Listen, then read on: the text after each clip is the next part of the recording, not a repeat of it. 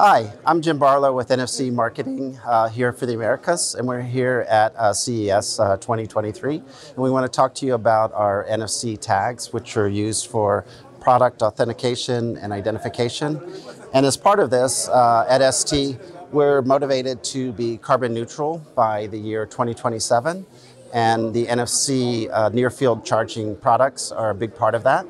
Uh, we have a white paper that you can find on our website that is uh, how NFC can help your business become more sustainable. Near field charging is a touchless method that can reduce a lot of waste in your manufacturing, etc. At CES, we're introducing what we're calling our eco-friendly tag. And in the process of manufacturing a tag, we've made the paper fully uh, substrate and renewable. Uh, and inside the tag, the antenna that's attached to the die is all excess aluminum is uh, completely recyclable. There's no etching process or plastic layers in the manufacturing process of the tag or harmful processing chemicals.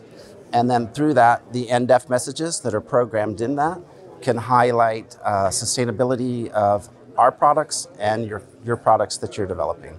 Thank you very much.